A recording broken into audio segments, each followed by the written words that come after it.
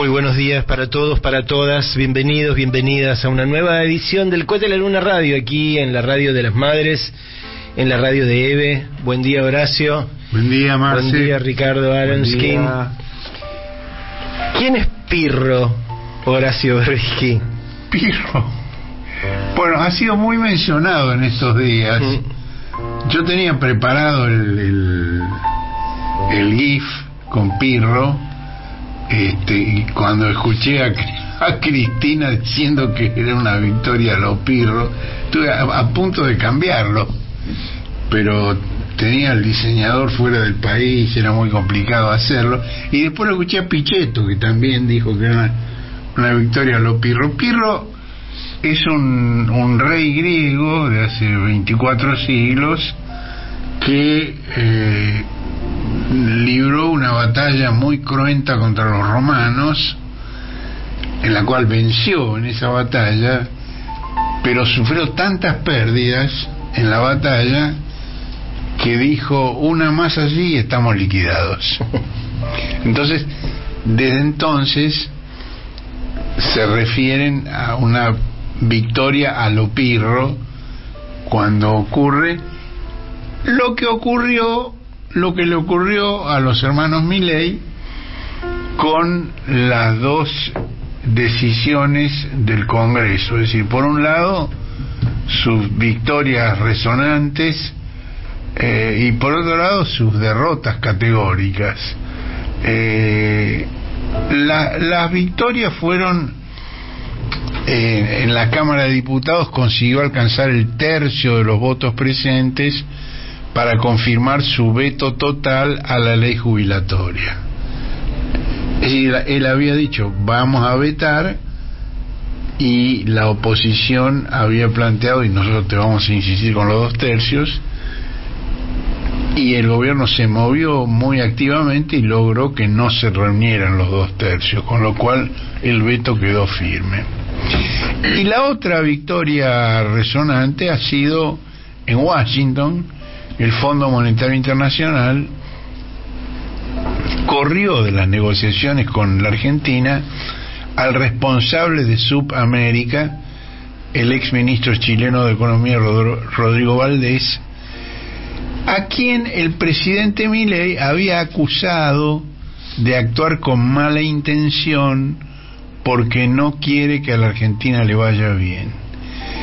Y incluso Cristina en su en su alocución en la Universidad del Oeste celebró este este éxito de Milei. Y dijo las cosas hay que decirlas como son. Eso es un éxito eso y ojalá lo hubiéramos logrado nosotros. Y ahí dijo ojalá otros hubieran insistido este para lograrlo. Ahí se se discute si ese mensaje es para Sergio Massa para Alberto Fernández o para Mr. Magoo. Magoo. Pero en definitiva ella dijo, bueno, mi ley lo logró y está bien. E inmediatamente planteó, bueno, que insistan sobre eso para conseguir también que se eliminen las sobretasas que el Fondo Monetario cobra a los países, que ese fue un planteo que hicieron Cristina y Máximo Kirchner y que ese sí es Guzmán el que no llevó el planteo este, a la mesa del Fondo Monetario, pues él dijo, no, eso es inverosímil, es imposible, nunca lo van a conceder, y directamente no lo planteó. Ahora, estas son las victorias que consiguió el gobierno, que consiguió el presidente Pirro. Pero en el Senado hubo un entendimiento entre radicales y peronistas que superó con amplitud los dos tercios en favor de la ley de financiamiento de las universidades públicas. Ahí también mi ley dijo que lo va a vetar, pero eh, en este caso de ninguna manera es claro de que mi ley vaya a conseguir el tercio de bloqueo para mantener la, la vigencia del veto. Y una coalición aún más amplia derogó el decreto de necesidad y urgencia que otorgó 100 millones de dólares al cambio oficial a la nueva CIDE con el pretexto de combatir al terrorismo. Bueno, el gobierno, digamos, tendió un secreto absoluto sobre la adquisición de la parafernalia de seguridad e inteligencia que trafican Israel y su gestor local, Mario Montoto, que es uno de los casos más extraños que pueda haber. Digo, pues Montoto fue uno de los organizadores del entrenamiento de guerrilleros argentinos por las organizaciones revolucionarias palestinas. Y ahora se ha convertido en el agente más activo de Israel y de Estados Unidos. Y, y en, en, el tráfico de parafernalia bélica y de inteligencia. Es un caso... Yo le preguntaba a mucha gente qué piensan al respecto. Este tipo, eh, en aquella época, hace 40 años, ¿era un infiltrado o ahora se dio vuelta? y no, no encuentro respuestas categóricas al respecto. No encuentro respuestas categóricas. Él y, y, digamos, su colaboradora en eso en ese momento era Patricia Bullrich. Claro. También. Claro, Patricia Bullrich que, digamos, miente con la misma frescura sobre hechos del pasado que del presente.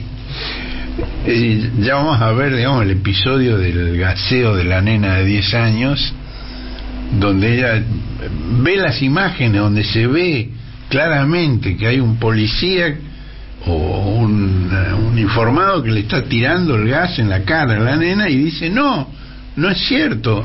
Y está ahí a la vista la imagen. Y ella dice, no, no es cierto. Del mismo modo dice, yo nunca fui montonera. Con la misma frescura. Por eso yo aclaraba esta semana en Twitter, digo que yo hace mucho que le digo este pato bullshit, estoy aclarando que bullshit en general la gente tiende a pensar en bosta, literalmente, porque quiere decir eso, bosta de todo, pero bullshit también quiere decir mentira, ¿no? Cuando vos decís algo en inglés y alguien te dice bullshit, te está diciendo estás mintiendo, Está ¿no? mintiendo, así es, así es. Eh, ahora, ese secreto que han establecido no se justifica por el estallido muy sospechoso de un petardo en la sociedad rural, un petardo que no tenía aptitud para otra cosa que dar un susto. Digo, está la filmación del momento en que estalla el petardo. Bueno, la chica que está ahí al lado sale corriendo, asustada.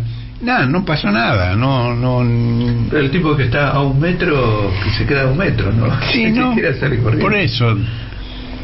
Eh, eh, hubo un anuncio triunfal del gobierno sobre la identificación y el arresto del terrorista porque el gobierno inmediatamente dijo Ah, que era un hecho terrorista terrorista vegano. bueno sí eso eso es, eso es de Patio Bullrich ella dijo que era un terrorista vegano sí, sí, es una categoría muy graciosa el terrorista vegano Bueno, tiene, tiene muchas. Sí. Te tira con papas, zanahorias. Trabucos. Qué bárbaro.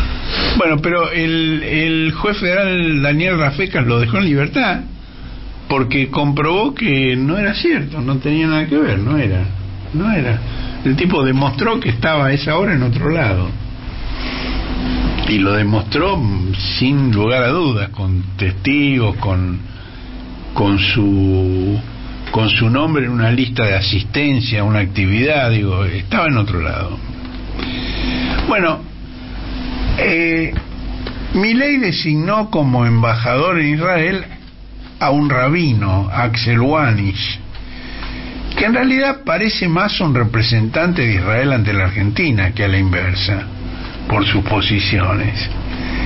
Y ya atiende sus asuntos en Jerusalén, pese a que la embajada sigue ubicada en Tel Aviv, porque Milei dijo que la van a trasladar, pero no la trasladó todavía, porque no es un trámite simple trasladar una embajada. Y hasta ahora no lo hizo, pero Wani ya atiende en Jerusalén como si lo hubieran hecho. Aparte creo que hay que cambiar una ley. Sí, Para- sí, trasladar sí, la embajada, sí, ¿no? sí, Eso sí sí, nomás. Bueno, ese tipo de provocaciones son el origen del peligro a la seguridad que corre la Argentina. Y si las autoridades argentinas tienen el insulto fácil contra Brasil, contra China, contra Irán, aparte de contra todas las fuerzas cuestionadoras internas, y al mismo tiempo las Fuerzas Armadas de Brasil están participando en el Amazonas, en Goiás, en un ejercicio conjunto que se llama Formosa, con munición real, pero lo novedoso es que es un ejercicio conjunto de Brasil con Estados Unidos y China, Rarísimo. un ejercicio conjunto. Es decir, mientras Argentina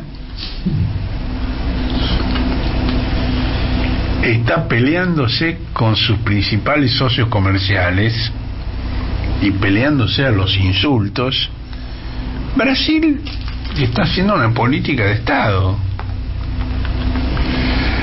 Bueno, para despejar los obstáculos al veto, el veto ese le ahorró al fisco 17 mil pesos mensuales por dos de cada tres jubilados que persiguen la- perciben la retribución mínima. Eh, lo explico mejor. Eh, los jubilados de la mínima son dos tercios del total. Bueno, por cada jubilado de la mínima iba a cobrar 17 mil pesos de aumento si eh, no se vetaba la ley. Entonces, son 17 mil pesos mensuales por dos de cada tres jubilados que perciben la mínima. Milei se reunió con un grupo de diputados radicales que habían votado, recordemos, porque a- las cosas ocurren a tal velocidad que uno se, se, se pierde. Este proyecto de ley de movilidad jubilatoria es un proyecto radical, no es un proyecto eh, del maldito kirchnerismo, es un proyecto del radicalismo. Y los diputados se reunieron con Milei, lo habían votado ese proyecto Y defendido. y lo habían defendido. Bueno, Milei se reunió con ellos y fue muy persuasivo porque cinco radicales respaldaron el veto. Bueno, también siguieron esa borocoteada eh, otros tres tucumanos que responden al gobernador Jaldo, los tres de Innovación Federal que responden a los gobernadores de Salta, Leonel y Misiones.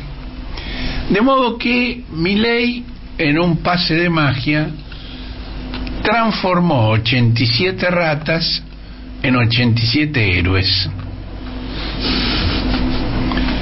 Los llamaba ratas cuando votaban el aumento a los jubilados y los llama héroes cuando las boletea. Y ahora están analizando la posibilidad de invitarlos a comer un asado en, en RPO. Eh, invitan a las ratas a comer. Que bueno, RPO es la sede de los plenarios de la casta, desde el gobierno de Alfonsín hasta el que presidió el doctor Fernández. Siempre digamos que el, el gobierno de turno ha tenido que, que persuadir a algún dirigente político de que apoye determinada medida, se reunieron a comer, a comer en la residencia presidencial de Olivos.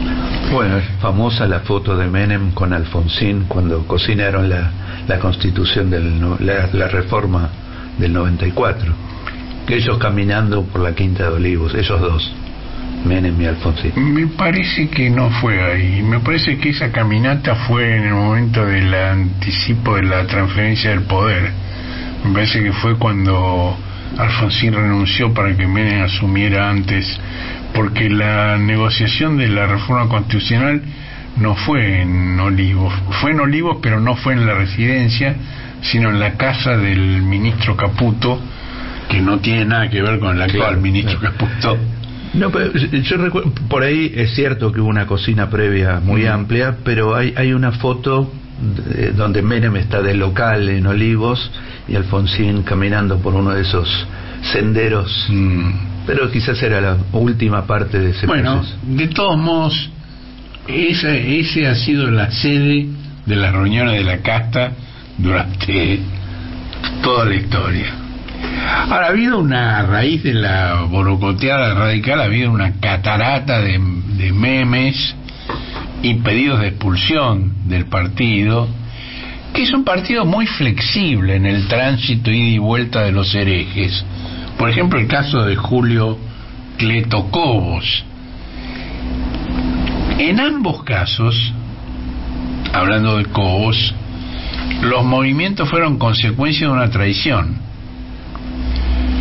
Lo echaron cuando aceptó la candidatura a la vicepresidencia de Cristina y lo reasumieron cuando desempató en contra de Cristina por la resolución 125 sobre las retenciones móviles.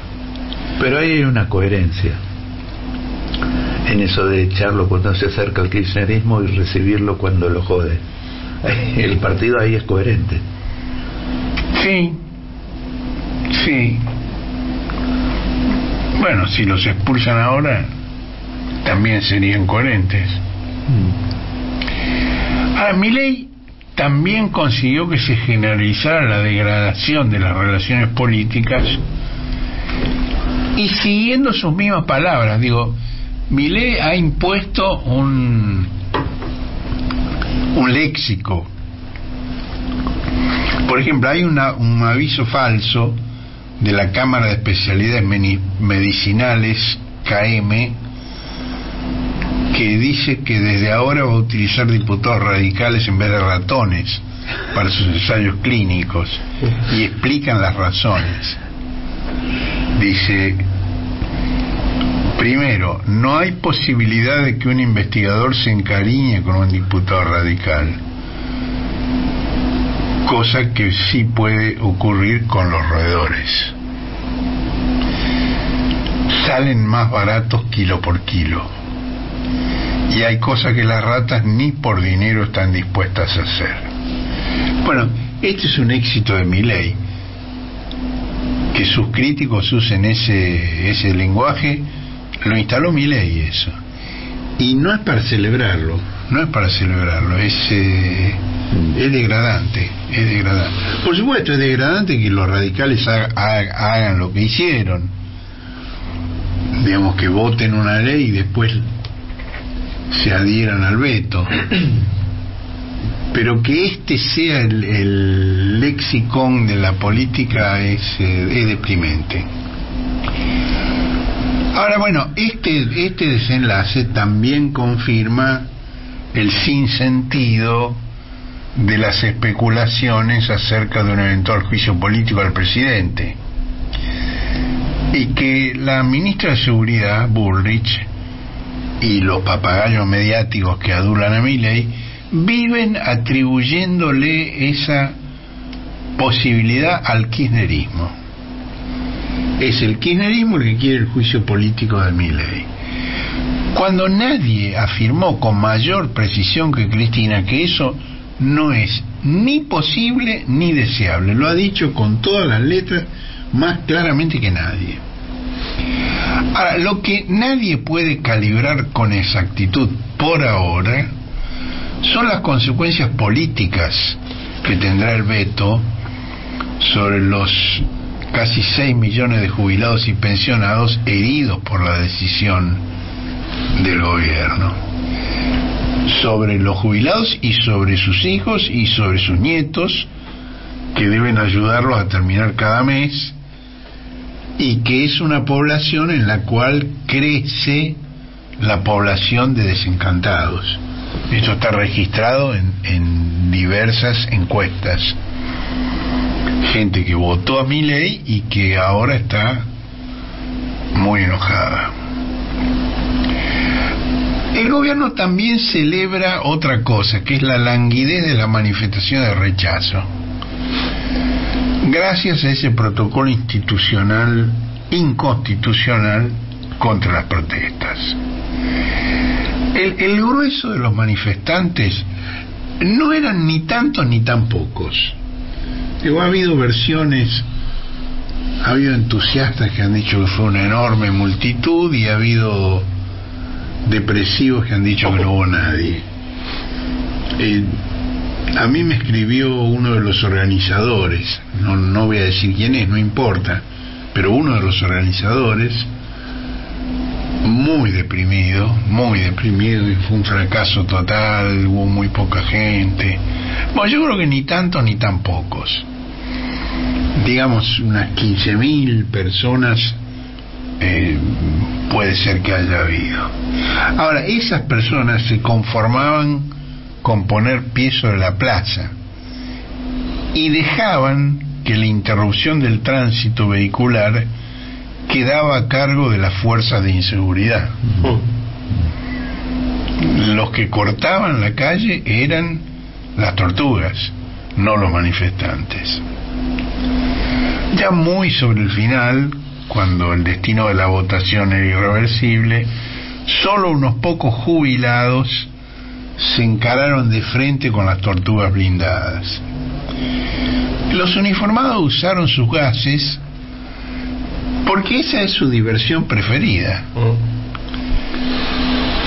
Pero la verdad, por lo que se ha visto y por lo que cuenta gente que, que participó activamente, a las tortugas les bastaba con empujar a los jubilados con sus escudos para que cayeran al suelo o retrocedieran.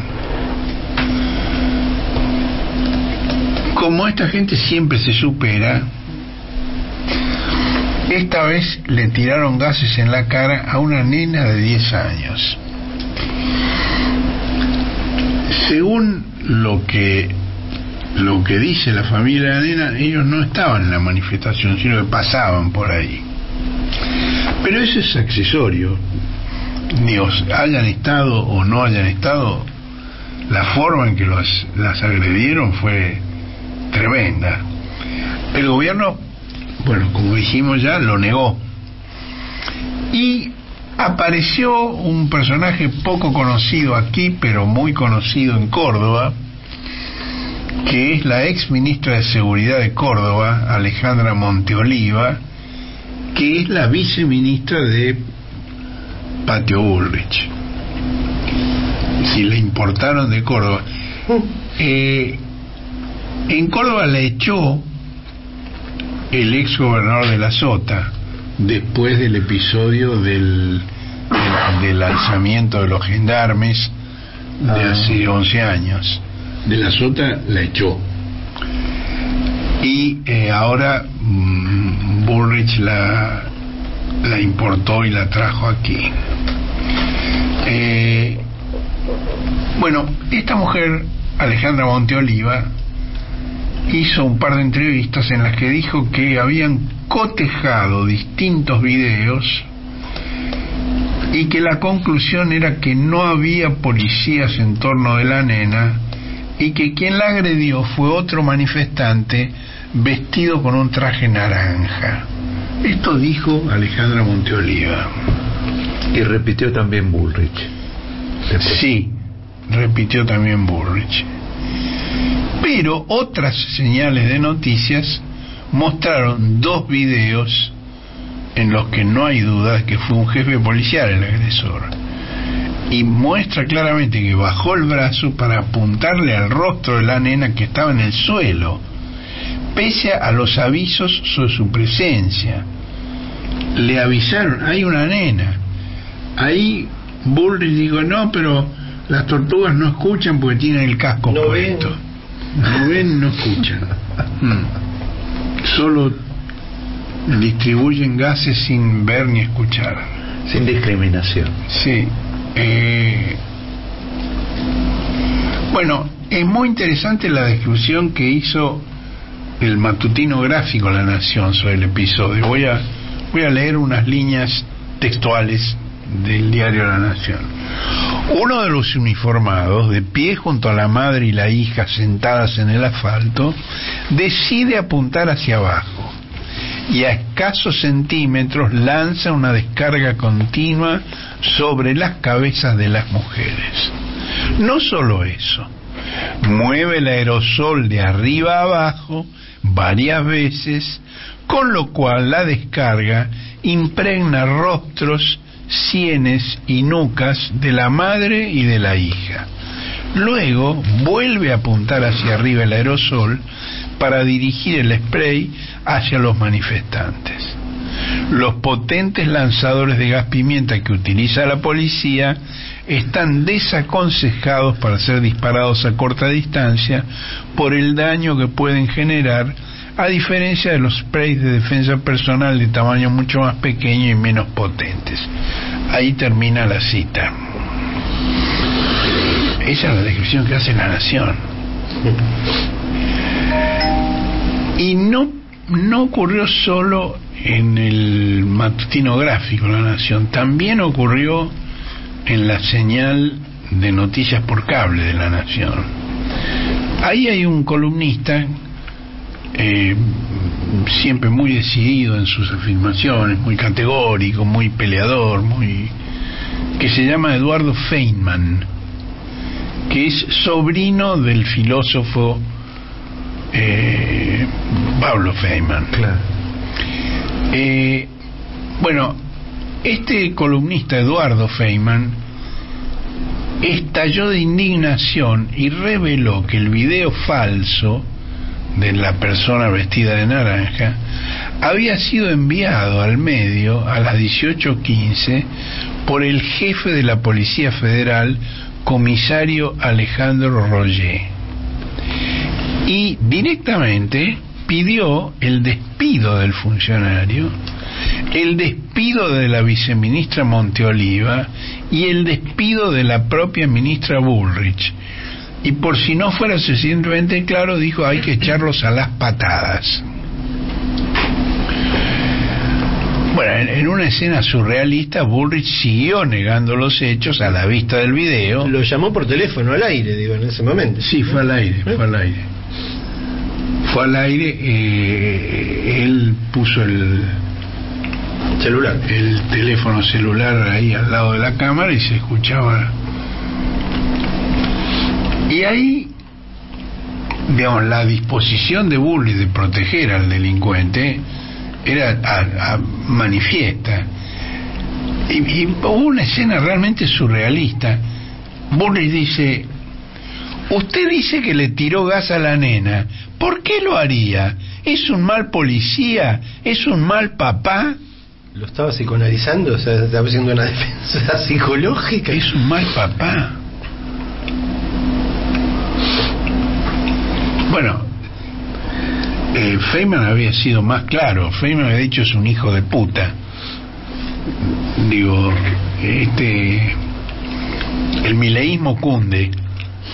Eh, todo el mundo se larga a decir cosas muy fuertes. Eh, bueno, Feynman estaba enojadísimo y decía, ¿por qué estaba enojado? Dice, porque quisieron engañarme y a mí no me van a engañar y a mi equipo no lo van a engañar y a esta señal de noticias no la van a engañar. Era un, un- una cosa personal. Trataron de engañarme. Es decir, la indignación no era porque le tiraron gas en la cara a la nena, sino porque lo engañaron a él. Casi parecía un periodista independiente. Casi parecía un periodista independiente. Porque a- a- en esa llamada a, a Bullrich no la trató bien. No, la trató fue con durísimo, fue muy duro, estaba muy enojado y le exigía respuestas. Decía, no me, no me mientes, está, la imagen, ¿quiere que se la pase? Así le dice, ¿quiere Sí, que sí, se la pase? sí. No, dijo, nos toman por boludos. Sí, este. sí, sí. Pero bueno, todo volvió rápidamente a su quicio. Por eso, como, como dice Ricardo, parecía casi nadie fue despedido, ni siquiera Feynman, y las patadas solo se reservan para los manifestantes. Y apenas 24 horas después, el indignado se disculpó al aire con Bullrich y recitó el credo del aporreo a los terroristas enemigos de la patria. Dijo, yo estoy de acuerdo, no hay que permitir, hay que reprimir, yo estoy totalmente de acuerdo. Y le pido disculpas si la molesté con algo de lo que dije. Y ella, por supuesto, lo perdonó magnánimamente. ¿Por qué? Porque había quedado restablecida la prelación de las jerarquías. El zapato de Milley apunta a los fundillos de Feynman antes que a los blancos trousers de la ministra Pum Pum, como la llama Rinconet. Digo, es un episodio muy notable porque es notable cómo se zarpó Feynman y es muy notable el tirón de oreja que le dieron después y cómo se achicó después.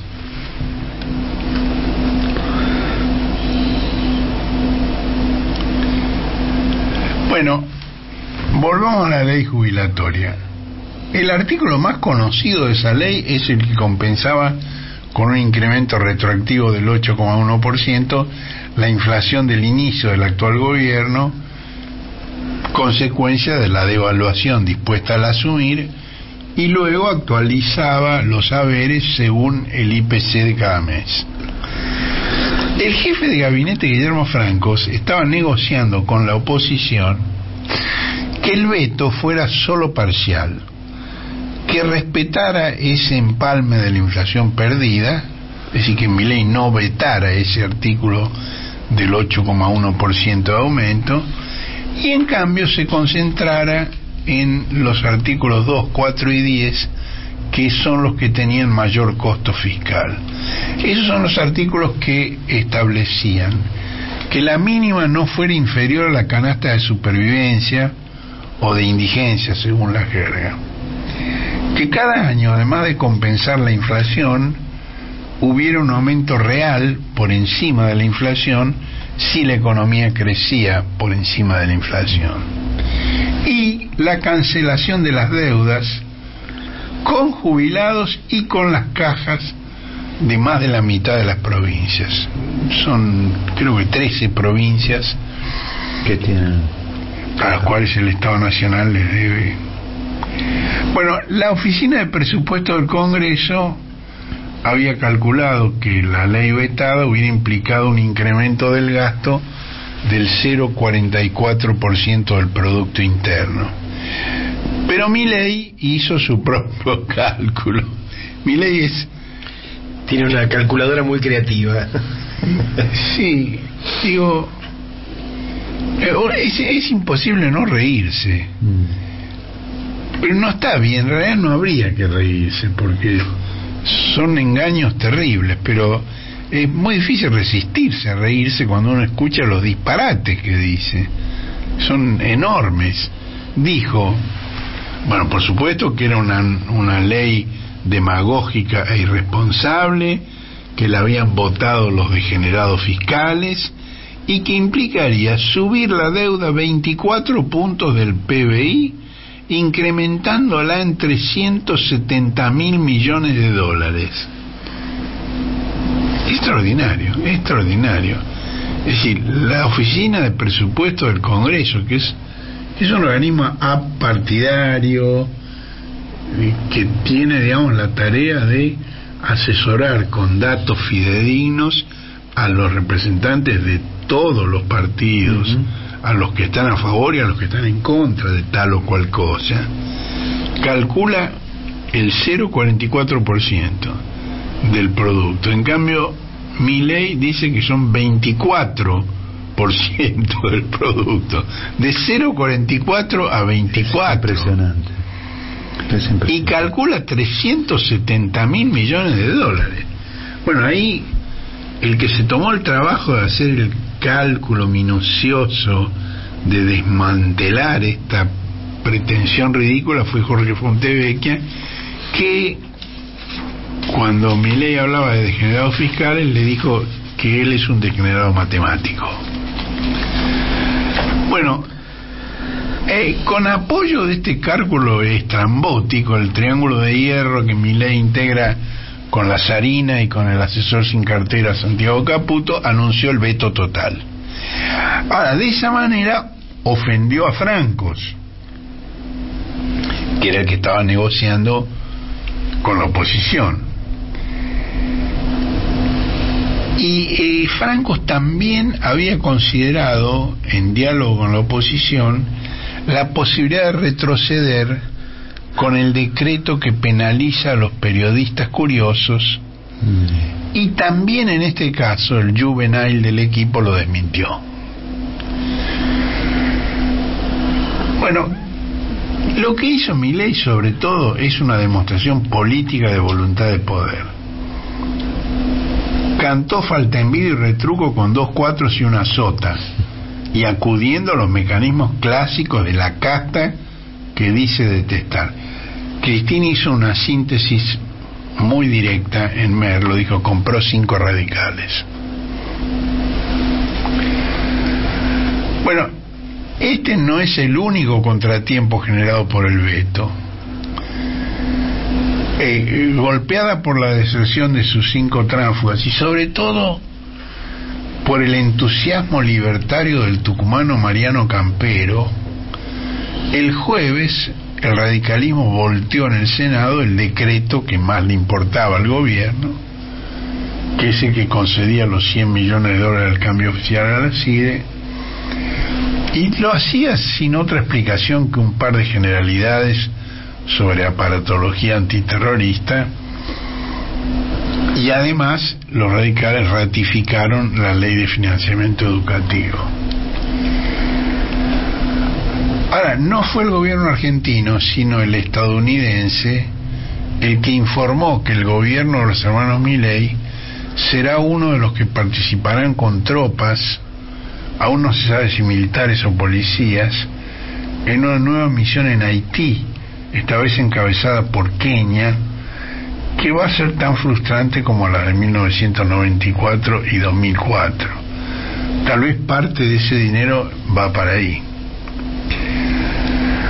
Al mismo tiempo, la Argentina insiste en su solicitud de ingreso como socio global de la OTAN, la Organización del Tratado del Atlántico Norte, que, digamos, si la Argentina ingresa, esto aumentaría la vulnerabilidad y los riesgos para el país, provenientes de un contexto global en el que no hay intereses argentinos relevantes.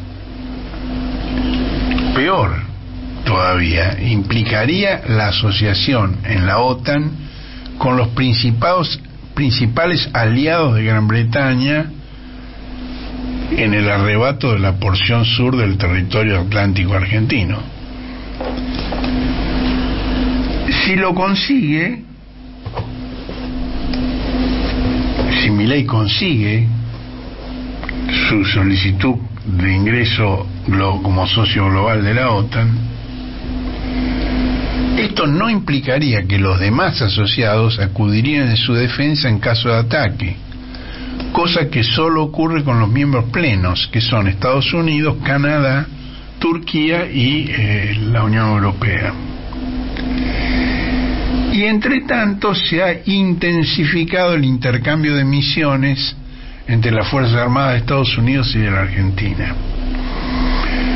Eh, estuvo aquí el secretario de Marina de Estados Unidos y después el jefe de Estado Mayor Conjunto, Javier Isaac, visitó la sede del Comando Sur.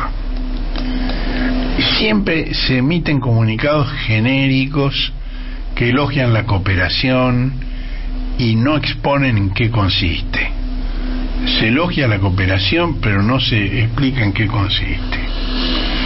Por ejemplo, la OTAN aportó 40 millones de dólares para que la Argentina adquiriera los viejos aviones daneses que ni le hacen cosquillas a Gran Bretaña en el Atlántico Sur, en vez de los indios o chinos que se ofrecían con amplio financiamiento. Solo 40 millones aportó la OTAN. Nada. Na- bueno, pero a cambio de eso, la Argentina desistió de comprar los aviones que le preocupaban a Gran Bretaña porque estaban en condiciones de combatir contra las fuerzas británicas en las Malvinas. En cambio, los que compraron no están en condiciones, no sirven para eso. Bueno, además, la Argentina está enviando helicópteros a Ucrania. Helicópteros a Ucrania estamos mandando. Lo cual la involucra de lleno en el principal frente de guerra de la actualidad, en el que varias partes hablan de una tercera guerra mundial y de una guerra mundial nuclear. Y lo mismo pasa con el eh, apoyo irrestricto de los hermanos Milei a Israel en su campaña genocida en Gaza, de la cual tenemos varias notas en la edición de hoy del, del cohete.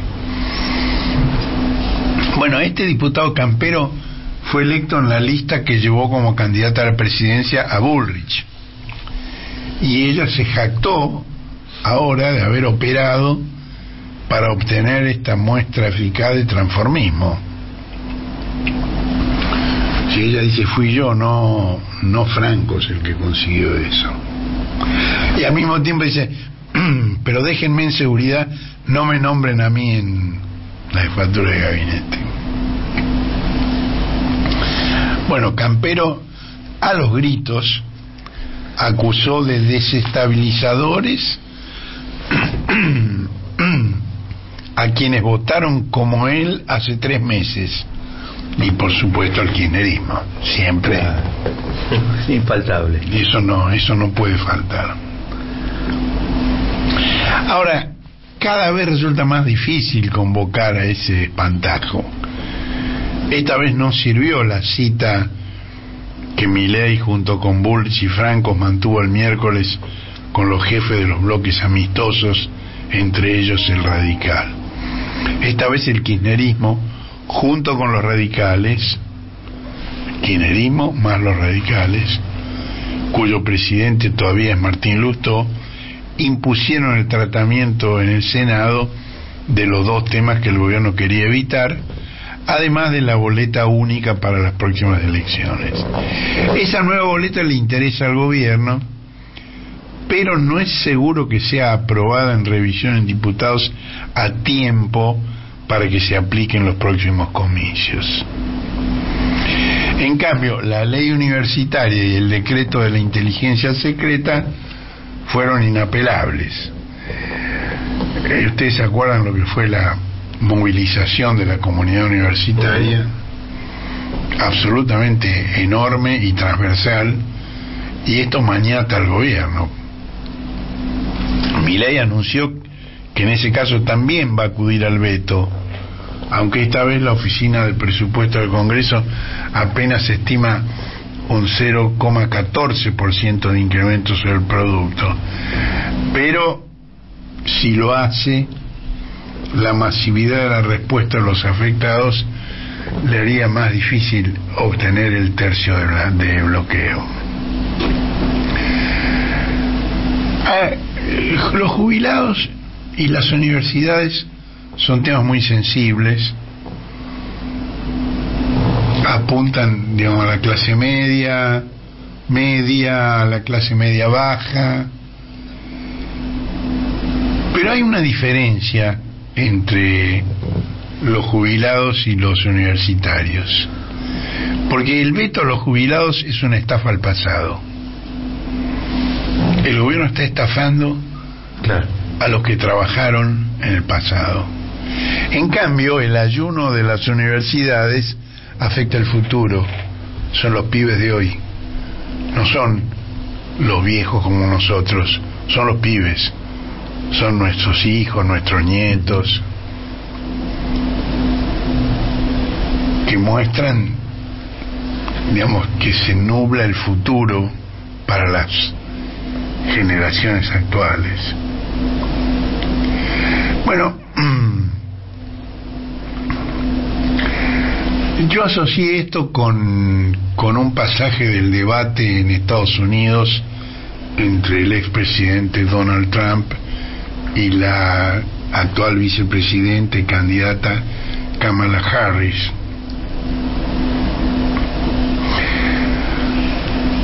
Trump hizo todo tipo de chicanas, ya vamos a ver alguna, y la vicepresidenta, después de escucharlo, con su mejor sonrisa, y que tiene una buena sonrisa, dijo, basta de hablar del pasado, basta de hablar del pasado.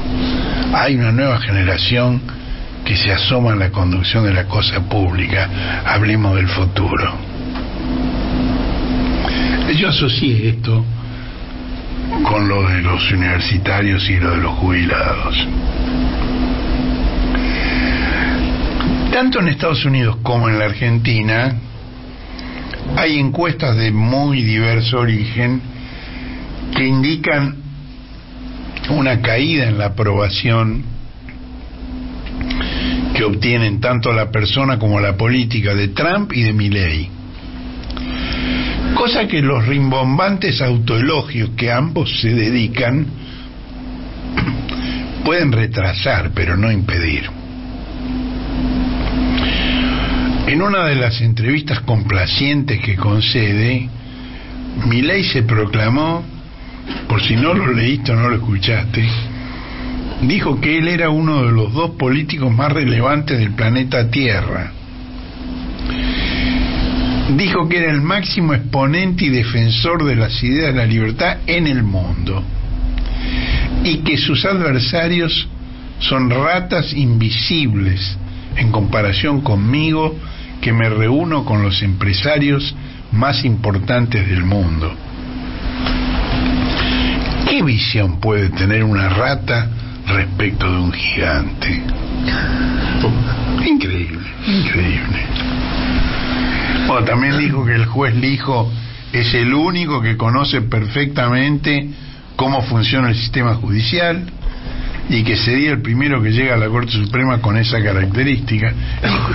Yo sé que nunca antes en la Corte Suprema hubo nadie que supiera cómo funciona el Nunca, sistema judicial. nunca. Sería el y primero. uno estaba creído de que alguien debió haber habido, pero se ve que no. Bueno, eh, más insólita que esta defensa del candidato es la que practicaron, no sé si Gustavo lo tenés ahí, eh, Lilia Lemoine y Fernando Cerimedo. Escuchar lo que, lo que dicen del hijo, que es el candidato de ellos. Reconocida militante fuerte de la Libertad Avanza y yo quería consultarte por qué bancás la candidatura del hijo. Yo lo banco al hijo porque una vez lo vi salvar un bebé de un incendio. Me contaron que vas de candidato a diputado y quería saber por qué bancás al hijo, la candidatura del Yo hijo. banco al hijo porque rescató a mis tres gatos de un incendio en el último penthouse. Excel- Fernando, ¿por qué bancás al hijo? Bueno, el hijo el de las Amazonas varias veces. Tengo entendido también que, que participó de, de- del sabotaje de muchos bebés también. Sí, yo lo vi salvar un bebé de sí. ¿Por qué bancás al hijo? Porque el juez dijo me presentó a mi esposa. Barbie, ¿por qué el hijo sí? ¿Qué hizo por vos, mi hijo? Bueno, hoy el hijo, gracias al cielo, me prestó la planchita para hoy estar divina. Cuando estaba cagando me el papel. me trajo papel. ¿Por qué bancás al hijo? Yo cuando era chiquito tenía un problema genético y hijo desarrolló la cura. Es el candidato de ellos. Bueno,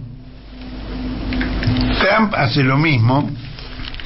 En Estados Unidos proclamó que él se había impuesto en el debate y dijo había dos encuestas, que por supuesto no dijo cuáles eran.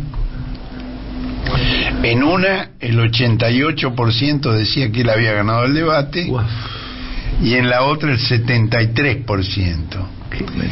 Cuando la medición técnica que sí hizo CNN arrojó un resultado nítido 63 a 37% a favor de Kamala Harris, que es exactamente al revés de lo que sucedió cuando Trump enfrentó a Biden.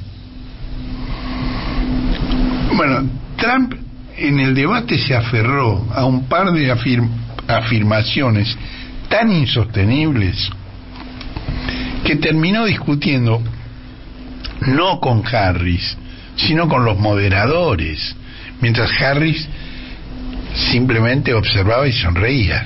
Que lo que hacían era chequear la información, digo, básicamente eso. Decían, bien, esto- estamos hablando con nuestro corresponsal en Springfield, este, y ahí dicen que no hay ningún, ningún eh, eh, ninguna Bueno. noticia este, que no- creíble en la, en la cual los inmigrantes estén comiendo gatos y perros. De, de hecho, ella usó siete minutos menos que Trump en el debate, porque lo dejaba hablar a él, porque él se, se enterraba solo.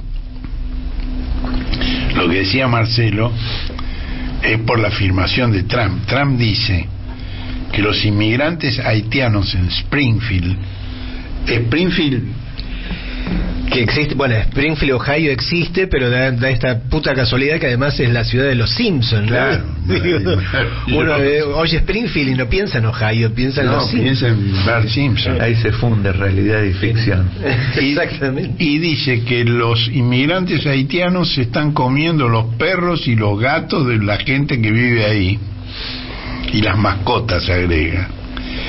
Y la otra afirmación inverosímil es que la criminalidad está aumentando en Estados Unidos mientras disminuye en todos los países que envían allí a sus inmigrantes. En los dos casos los moderadores le dijeron, hemos chequeado esa información y no es así. Ni se están comiendo las mascotas, ni eh, hay un aumento de la criminalidad en Estados Unidos. Y los memes son muy graciosos. Tenemos uno aquí que es Trump escapando con, con un gato en brazos mientras lo persiguen los haitianos. Bueno, eh, eh, un, un efecto notable del debate es que Trump rehusó repetirlo, pues se había propuesto hacer un segundo debate y él dijo que no, ya está, ya está bien, ya es suficiente. Ah, impresionante. ¿eh? Y un, un golpe duro que le propinó Harris fueron dos videos en que Milley y Esper Ojo que no. consideraron a Trump inapto para presidir el país. Estamos hablando de un Milley este, y, y de un expert, no un expert, para que no se confunda la gente. El jefe de Estado Mayor de las Fuerzas Armadas durante el gobierno de Trump, Mark Milley, dijo que los militares no defienden a un individuo sino a la Constitución. Y el ministro de Defensa de Trump, Mark Esper,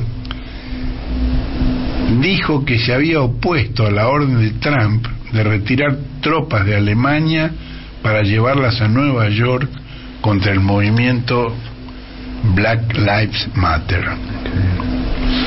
Fueron realmente golpes duros, muy duros.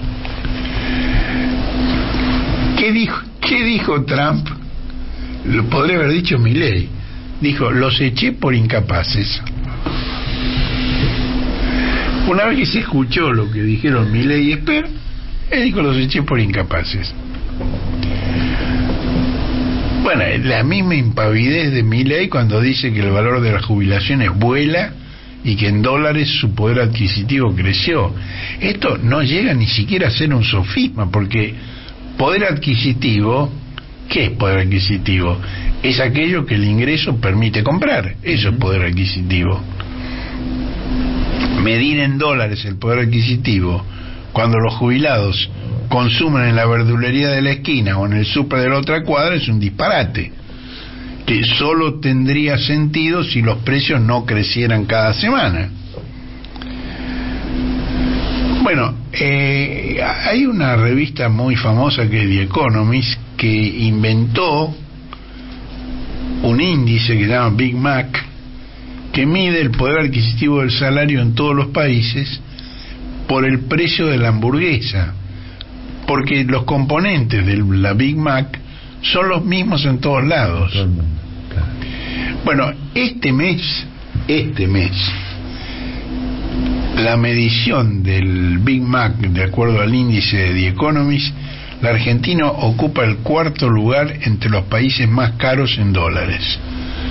Primero Suiza, la hamburguesa cuesta 8 dólares 17, segundo Noruega, cuesta 7.14, tercero Uruguay, 7.04 y cuatro Argentina, 6.30 a dólar oficial.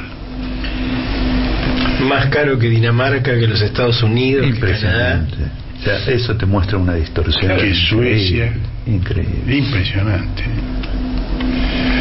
Bueno, eh, hubo un vocero mediático de Milley que atribuyó a influencia del gobierno saliente de Joe Biden el desplazamiento del chileno Valdés, con la intención de ayudar al gobierno libertario, pese a la identificación de Milley con Trump.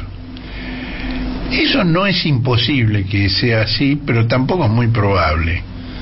En su diatriba contra Valdés, Milley sugirió que su mala voluntad se debe a su ideología de izquierda. Quien ahora va a quedar al frente de las negociaciones será el segundo de Valdés. Valdés sigue en su cargo. Lo que, lo que no hará más es ocuparse de Argentina, pero sigue en su cargo y le ratificaron la confianza. El segundo de Valdés, que es el venezolano Luis Cubedu, que ya era funcionario del Fondo Monetario cuando Hugo Chávez llegó al gobierno en Caracas, es decir, un funcionario de carrera del fondo. Y lo va a asistir el representante en la Argentina, que es el joven tailandés Ashwin Ahuja. Eh, eh, ya era insólito suponerle a Valdés una tendencia a cualquier forma de socialismo por haber sido ministro de Michel Bachelet. Ahora, no hay forma de ajar los pergaminos ortodoxos de Cubedu, quien participó en el equipo que negoció con la Argentina durante el mandato interino al frente del Poder Ejecutivo del senador Eduardo Dualde. Está casado con una argentina, tiene hijos argentinos y durante la gestión de Néstor Kirchner intervino en la negociación de la deuda en default y encabezó la misión del organismo cuando Alberto Fernández reemplazó a Mauricio Macri y Cristalina Georgieva a Christine Lagarde. Por supuesto, en estas materias es difícil hacer vaticinios. Tal vez, como se jacta mi ley, el desplazamiento de Valdés preanuncia una negociación exitosa del nuevo acuerdo que la Argentina debe alcanzar con el fondo, pero como los problemas estructurales no se han modificado, el riesgo crediticio del país sigue siendo sideral, las reservas han desaparecido, la inflación ha vuelto a trepar pese a la recesión y no ingresan los dólares necesarios. De modo que el venezolano Cubedu podría ser tan o más exigente que Valdés, pero ya sin la acusación de parcialidad que Milei le colgó al cuello a Valdés.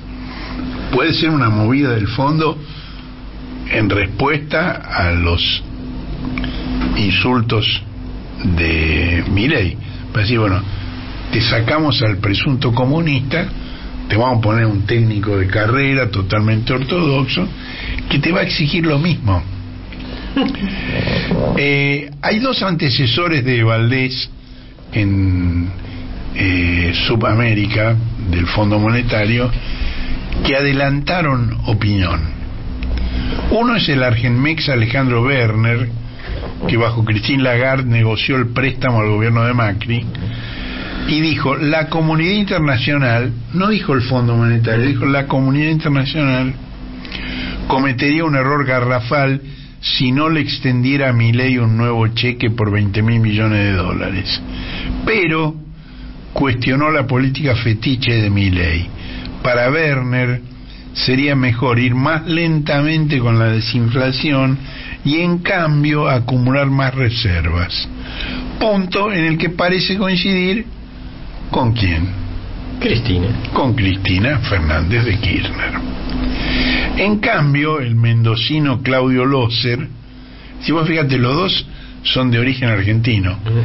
Eh, si bien Werner se crió en México, este, y el, Claudio Loser es mendocino, Él ocupó el mismo cargo durante la crisis final de la convertibilidad y cuestionó el monto del préstamo que Werner le concedió a Macri. Y sobre todo advirtió que las exigencias a Milei serán las mismas que con Valdés, porque el Fondo Monetario es una organización vertical que trabaja en equipo.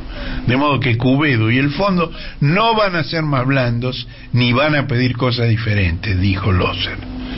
Insistirán, por ejemplo, dice, en que no enviarán nuevos fondos si la Argentina no devalúa nuevamente el peso y se corrige la brecha cambiaria.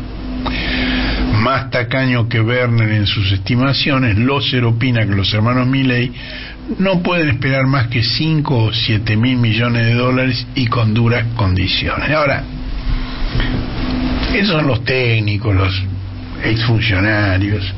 Ahora, opine quien opine, lo que es clarísimo es que la única meta del gobierno libertario es aumentar el endeudamiento del país. Se discute en qué medida, si 20 mil millones, si 7 mil millones, 5 mil millones si le van a dar lo que le tenían que dar a Macri y Alberto Fernández dijo que no se lo dieran, pero en cualquier caso, de lo único que se habla es de aumentar la deuda, que es exactamente lo contrario de lo que hicieron los Kirchner, tanto en la reestructuración de la deuda privada como en el pago total de lo que reclamaba el Fondo Monetario. Y esos fueron los años de mayor crecimiento y mejor distribución desde la muerte de Perón.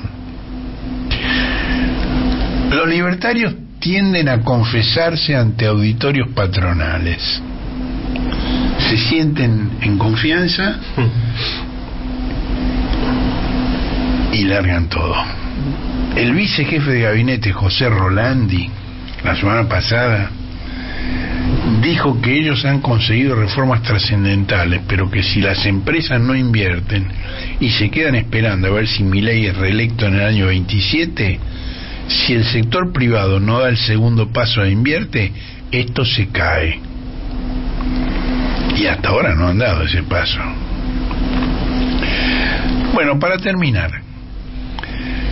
tenemos un brevísimo repaso por las denuncias por violencia de género eh, contra políticos y funcionarios judiciales.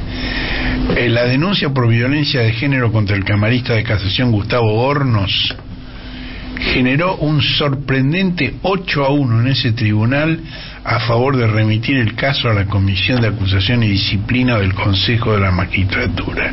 8 a 1 votaron porque la conducta de Hornos sea investigada por el Consejo de la Magistratura. Tampoco le ha ido bien al expresidente Alberto Fernández, porque tanto la esteticista de su esposa como el segundo médico que la atendió confirmaron que la vieron con el ojo en compota, atribuido a un golpe involuntario del doctor Fernández. Y el juez Luis Alberto Schlegel confirmó a la fiscal Mónica Cuñarro al frente de la investigación de la que intentaba apartarla la escort Melody Jacqueline Racauscas, denunciante del alcalde matancero Fernando Espinosa. Esto, más allá del caso en sí, tiene una importancia política porque Hornos es uno de los jueces que deben decidir sobre la apelación del fiscal Diego Luciani, quien pidió el doble de la pena contra Cristina en la causa de vialidad. Y para terminar, vamos a escuchar un cuestionamiento a este proceso contra Cristina en la voz. Bueno, primero escucharlo, después te digo quién es que lo dice.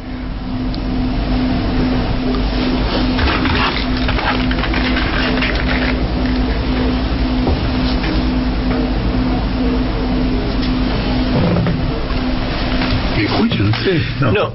no, se escucha aquí. No escuchamos. ¿Va otra vez? A ver. De la causa vialidad. Eh, porque falta otra parte de la historia. se, se causó impacto y trascendió muchísimo la acusación fiscal. Pero después vinieron las defensas, hoy están con las defensas. Y las defensas han sido muy buenas y no han tenido trascendencia. Yo anoche comí con varios jueces y abogados y destacaban las magníficas defensas que están haciendo.